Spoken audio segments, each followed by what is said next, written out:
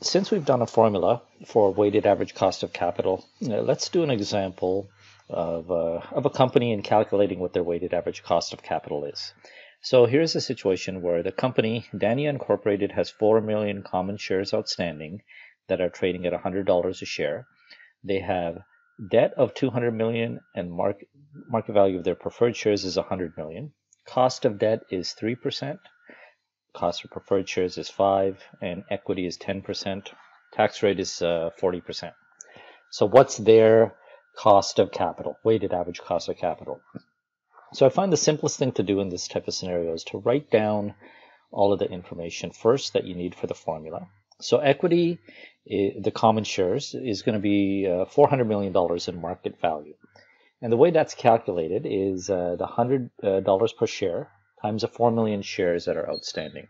So essentially that's the market capitalization of the company, the total value of the common shares. Preferred shares, we're going to assume that uh, the $100 million is the market value, as is the debt of 200 million.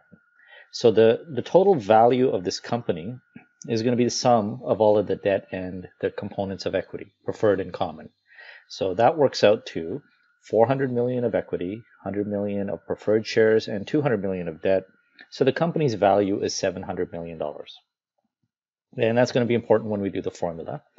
We're given some other information we're going to need, which is that the uh, cost of debt before tax is 3%, and the cost of preferred shares is uh, 5%.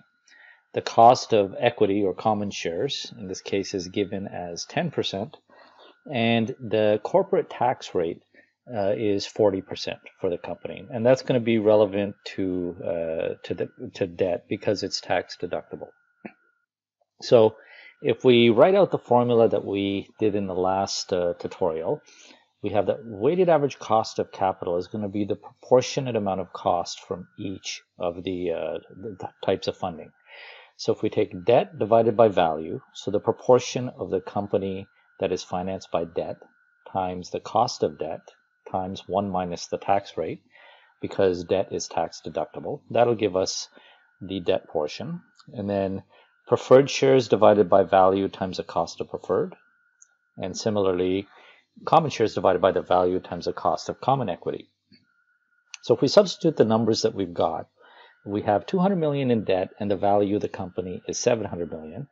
So 200 divided by 700 times the 3% tax rate times 1, or sorry, 3% interest rate times 1 minus the 40% tax rate plus 100 million in preferred divided by the value of 700 million times the preferred cost of 5% and then 400 million in common equity divided by the value of 700 times the 10% that we get for uh, the cost of common equity.